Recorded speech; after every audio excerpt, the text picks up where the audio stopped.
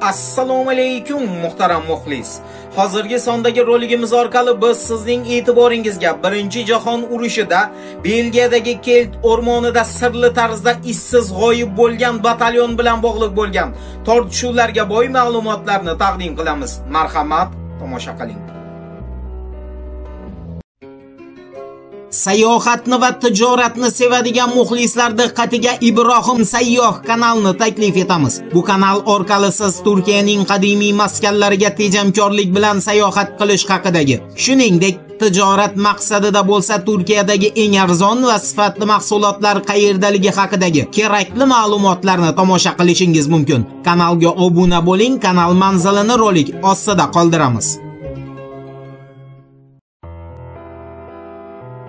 Birinchi jahon urushi tarixdan sizu bizga ma'lumki, aniq sanalarda 1914-yilning 28-iyul kuni boshlanib, 1918-yilning 11-noyabr kuni Antanta ittifoqining g'alabasi va Avstriya-Vengriya imperiyasi, Germaniya Usmoniylar imperiyasi shuningdek, Bolgariyaning to'liq mag'lubiyatga uchrashi bilan xotima topadi.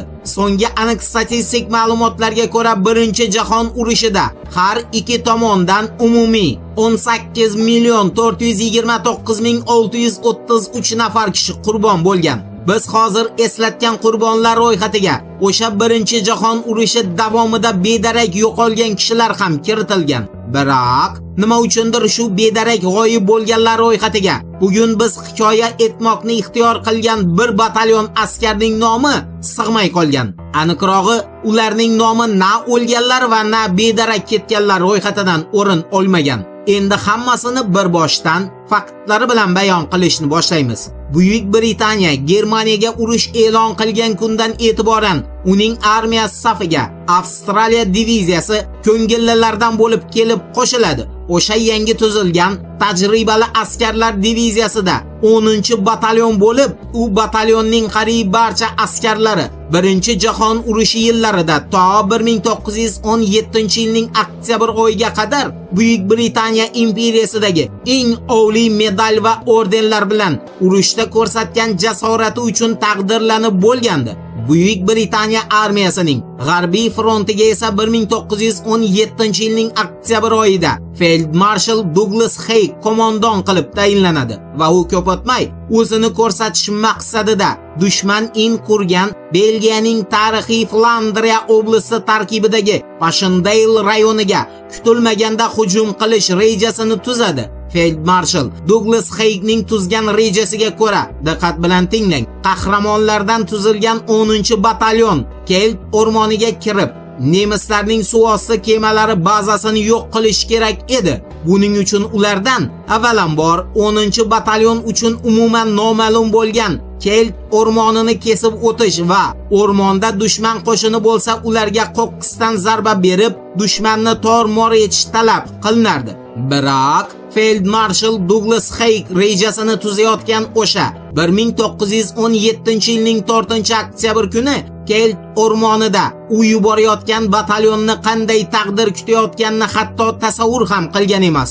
Shunday qilib, podpolkovnik Morris Wilder Nelligan boshliq umumiy 86 nafar o'ta yuqori jang tajribasiga ega harbiylar 1917-yilning 9-oktyabr kuni tongda soat millari 520 ni ko'rsatayotgan vaqtda Kelt o'rmoniga kirib ketadi. Shundan so'ng tasavvur qiling, hamisha jangovar ruhdagi 10-batalyondan hech kim Kelt o'rmonidan qaytib chiqmaydi. Ularni, ya'ni 10-batalyonni jangga tushunadigan qilib aytganda, Kelt o'rmoniga 22 yoshli leytenant Frank Scott boshlab boradi. Qo'mondon podpolkovnik Morris Wilder Nelligan esa har doimgiday muqarrar o'limga yo'l olayotgan qo'l ostidagi askarlariga paxtaday oppoq yo'l tilab shtabda qoladi.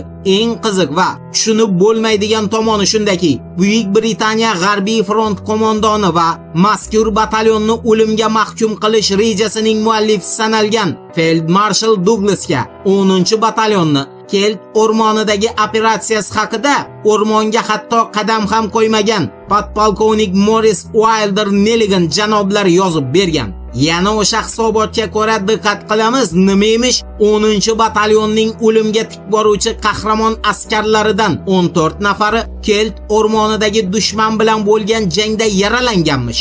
Shuningdek, qolgan askarlar nemislarning suvosti kemalari bazasiga qaqshatqich zarba berib, qahramonlarcha halok bo'lganmish. Ha xo'p, shunday bo'ldi ham deylik. U holda qolgan askarlarning murdalari, shuningdek, jarohat olgan askarlarning o'zlari qayerda? Avstraliyalik muxbir Charles Binning olib borgan 10-batalyonning Kelt o'rmonida issiz g'oyib bo'lishi bilan bog'liq izlanishlar natijasiga ko'ra e'tibor bering. 10-batalyon tarkibida jang qilgan askarlarning nomlari Buyuk Britaniya hukumatı urushdan keyin e'lon qilgan qurbonlar va bedarak yo'qolganlar ro'yxatiga umuman kiritilmagan. Bunga esa o'sha paytda Buyuk Britaniya bosh vaziri lavozimida bo'lgan Lloyd George asosiy sabab qilib 10-batalyon askarlarini murdasi topilmaganini ko'rsatgan. Ammo shunga urg'u bergan holda aytish joizki, Birinchi jahon urushining so'nggi yillarida, aniqrog'i 1917-yilda Fransiya armiyasi bosh qo'mondoni bo'lgan general Robert Nivelning qaydlariga ko'ra, Kelt o'rmonida hech qanday dushman qo'shini bo'lgan emas. Bu o'rmon qadim-qadimdan kishilar tez-tez bedarak yo'qoladigan hudud hisoblangan va ularni qo'l siltab jo'natgan Feld Marshal Douglas bu qadimiy hikoyani juda yaxshi bilgan.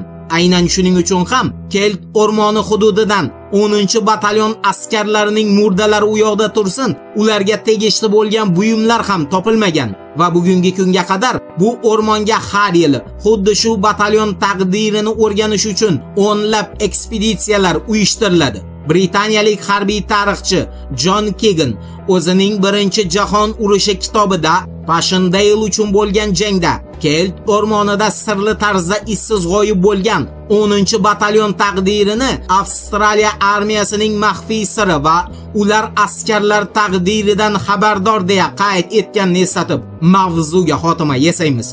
Umid qilamizki, mavzuni aniq va tushunarli tarzda bayon qila oldik. Turfa olamdan yiroqlashmang. Siz kutgan turfa ma'lumotlar hali oldinda.